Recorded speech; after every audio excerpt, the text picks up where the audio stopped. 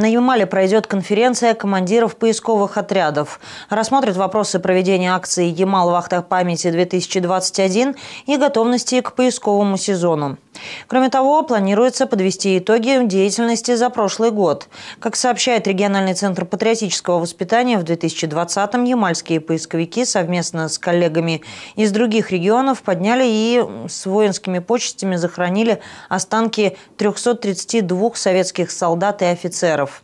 На протяжении всего года поисковики проводили патриотические мероприятия, вели архивную работу, общались с ветеранами и родственниками погибших и пропавших без вести в годы Великой Отечественной войны.